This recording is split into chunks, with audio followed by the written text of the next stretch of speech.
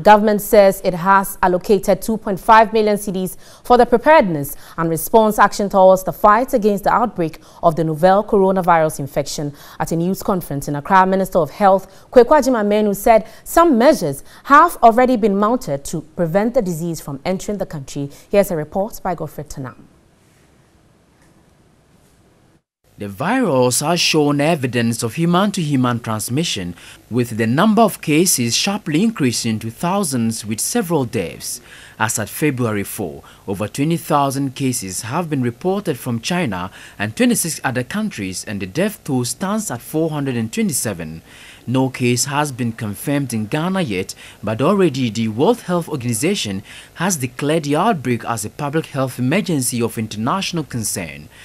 Screening is done for fever using walk-through thermometers and non-contact thermometers with the Health Ministry indicating that efforts are underway to ensure all the points of entry have non-contact thermometers. The government of Ghana has allocated an amount of 2.5 million Ghana cedi as startup funds towards the implementation of the initial response for our national preparedness plan.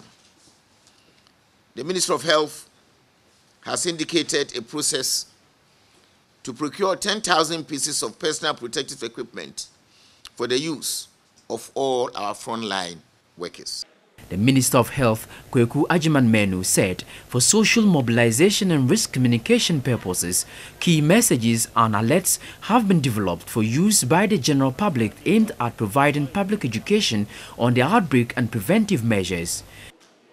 The alerts also detailed clinical features of the infection and gave guidance on prevention. Sensitization and training of healthcare workers and all other frontline staff, especially at the points of entry, port health, immigration, customs, and training of staff at the designated treatment centers have started and are ongoing. He said the Health Ministry and Ghana Health Service have sent letters to all regions and districts to activate their respective public health emergency management committees. Stakeholder engagements have started and we have met the authorities of Kotoka International Airport, Tema Port, and Ghana Airport Company Limited.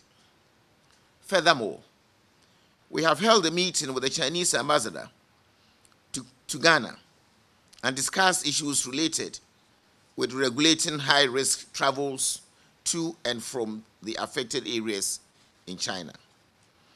The Chinese ambassador has indicated that China is doing best to contain the outbreak and indicated no Ghanaian in the affected area is infected. Symptoms of the coronavirus include fever, coughing and sneezing, close personal unprotected risks by touching or contact with infected person or animal. Currently, there's no cure.